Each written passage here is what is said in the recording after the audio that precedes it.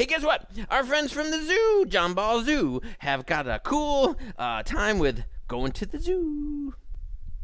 We're going to the zoo with all our friends, and when we're there, we're gonna see a Snake.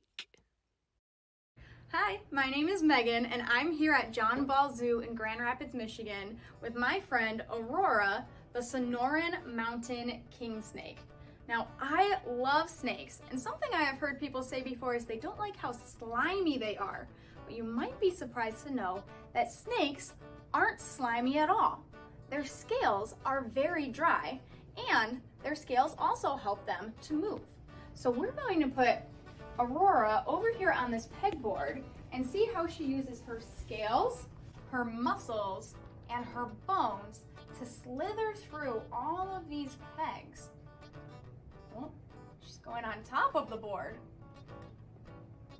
Now, even though snakes don't have arms and legs, they are still very skilled at moving through the trees, through rocks, through the water.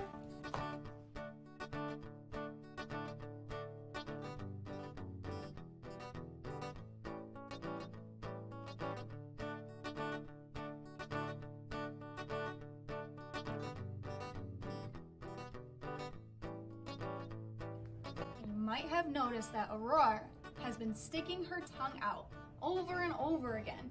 Snakes do this to sense the world around them. This is a way for them to collect information. So when she's sticking out her tongue, she's collecting smells and chemicals and info all on her tongue to figure out what's going on around them. So if you are a little bit nervous around snakes, what you can remember is that when you see them in the wild, they do not want to hurt you. In fact, they probably want a little space from you too. So give them some space, observe from a distance, and you might find that they're actually really, really cool.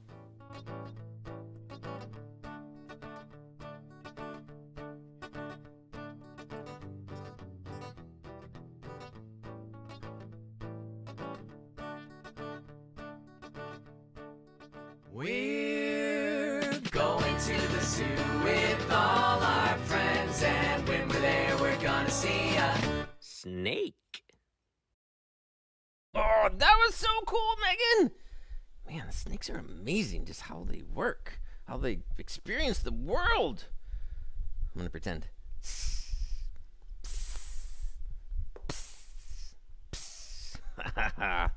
Be sure to subscribe and get notified for all our new videos.